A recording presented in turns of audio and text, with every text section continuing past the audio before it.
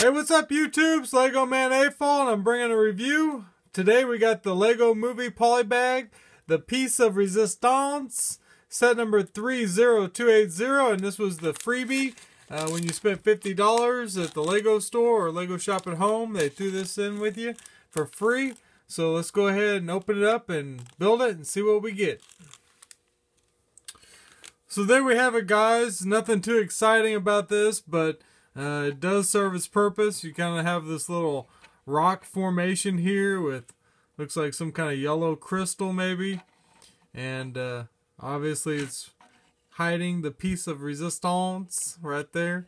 And the play feature is basically you just pop this down and then it explodes that out and then boom, he's got the piece of resistance and Emmet can put it on his back.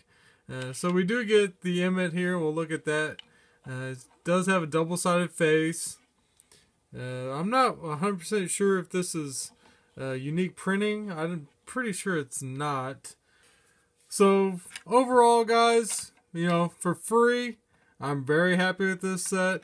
And uh, I'm happy to get another Emmet. Uh, my goal is to try to get all the Emmets, so I want to get the PJ Emmet and the Western theme, and I'll just kind of do a little comparison when I get all three of them.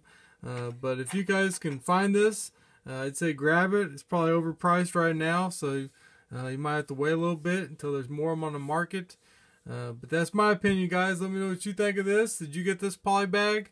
And as always, hit that thumbs up button. I'll see you in the next video.